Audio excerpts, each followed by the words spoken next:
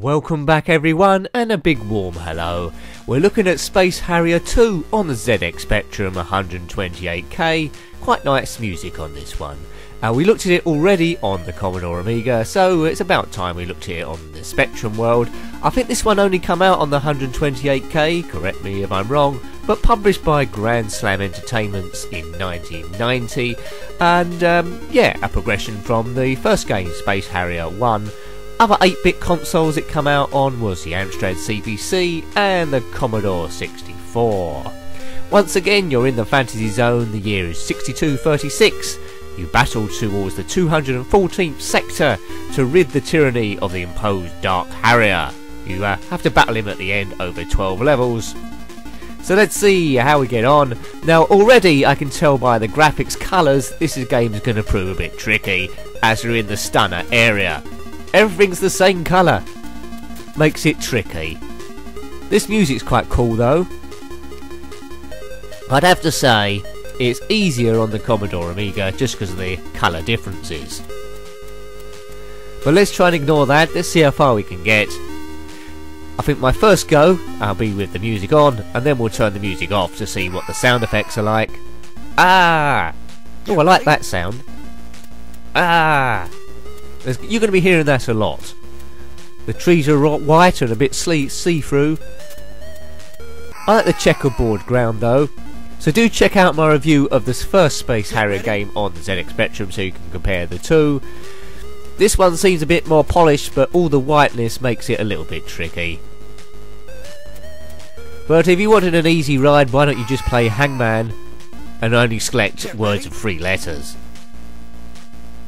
Do do do. Right, there's a wave of uh, nasties coming down the bottom there. They seem to fire white smoke rings or something. But my strategy is just to waggle the joystick from left to right and avoid stuff by random, really. It's not a bad little game, this one. It's well programmed, held together well. I uh, strongly suspect, though, it's better to play than to watch, so I'll try and keep you entertained as we get to game over already. It doesn't use much of the screen. There's a bit of a cheat there on the right hand side. You've got the Space Harrier logo and that worm thing. Looks a bit like Medusa. That's taken up a lot of it. So what we're using, about just over quarter of the screen. I suppose they had to do that to get the speed up. Right, back to the stunner area.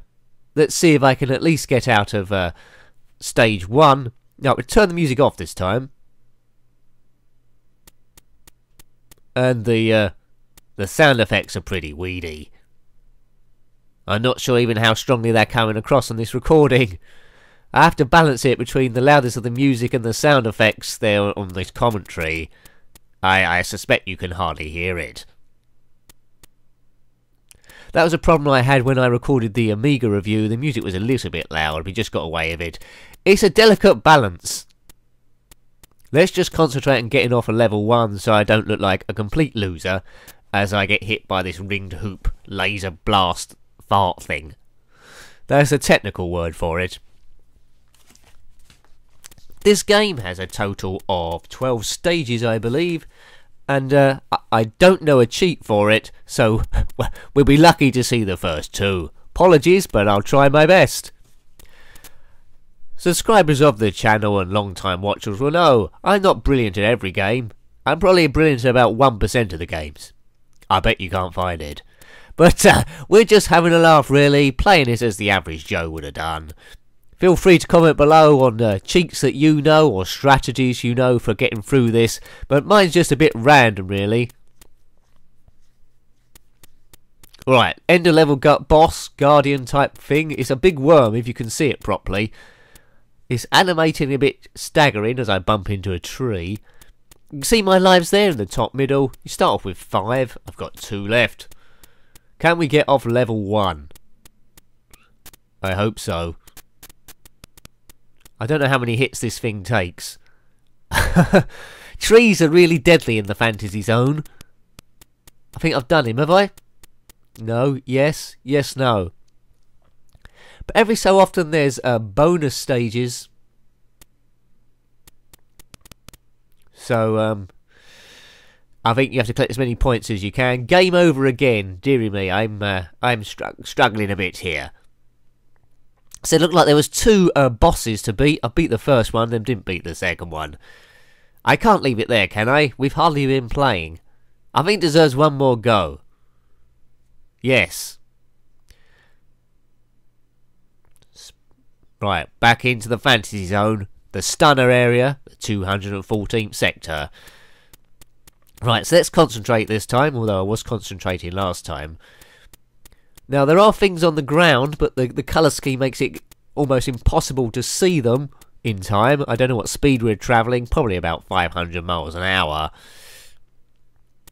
This white character. On the Amiga version, he's in uh, red. It's got a few different colours. Here, it's all white. All white? It's not all right. It's all white. The sky is green.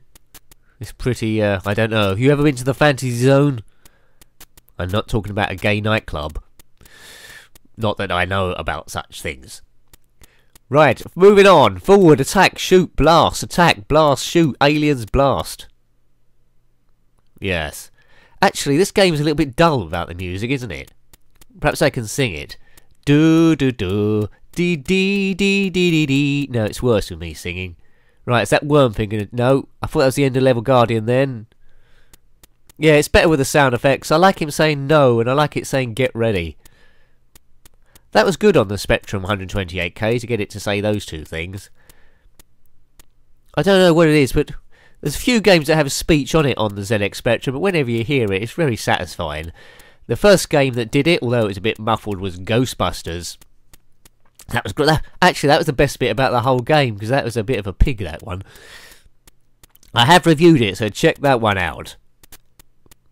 As you drive Ecto One round the streets in a very poor fashion. Right, we're up to this worm here. Let's avoid the trees. Then get to the second ender level boss and hopefully progress to level 2. and then we'll call that a success, I think. Die, you big worm thing. And how many times have you said that in your life? Right, here we go. Where is it? Hasn't frozen, has it? No. Right. There it is. Right, you've got to shoot the heads there. There's three of them. There's one. Let's focus on that. Did we get it? Yes, that's exploded. So we've got the left and right one to do. Avoid it firing at us. Then, here we go. Right, we'll take the right one out. This looks fairly straightforward. I think we're going to get to level 2 here, folks. Hurrah! There we go. Like taking candy from a from a, a sleeping person. Right, this is a familiar. Only on the ZX Spectrum. Right, press play on the tape. All 12 levels, you've got to play, load it on the tape here. And this is when it can go critically wrong. Is loading. Yes, classic, classic Spectrum loading screen.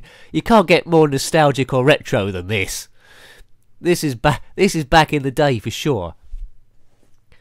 This game came out in 1990, so it's near the end of the Spectrum's uh, commercial run, really. Really punching above its weight in 1990. It was against the Commodore Amiga and the Atari ST, 16-bit uh, games which uh, people were moving across to. Games didn't take as long to load; they was on disc rather than cassette. Don't times change? Press stop. Will do.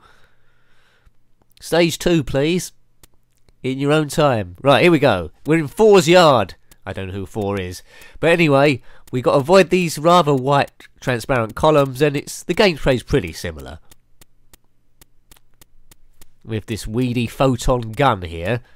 So the stuff you fire is white, the things coming across towards you is white, so it's quite easy to lose your perspective. At least the sky is the right colour now. Uh, checkerboard ground, green and white. But um, I think you already spotted that. It moves quite slow, this. But uh, that's just as well, because I'm not doing very well. If it moved much quicker, I'll be doomed. And I'm probably going to be doomed quite soon. How far are we going to progress in this uh, stage? I'm nowhere near the top score, as you probably have seen. Right, I think this is my last life. So don't blink. Blink and you'll probably miss it. 10 points if you can spot any of the ground features. No, don't know what they are. Oh, I've died. I think I've dumped it, bumped into a rose bush. Game over. Well, I hope you liked having a look at that one as always. That was Space Harrier 2 on the ZX Spectrum 128K uh, from 1990, published by Grandslam Entertainments. Thanks for watching as always. Comment your uh, thoughts below. Uh, please subscribe if you haven't already, because that's always pretty helpful. Shows me I'm on the right track, or indeed not. And once again, uh, take care. very best for the future, and lots of other stuff. Goodbye. Goodbye.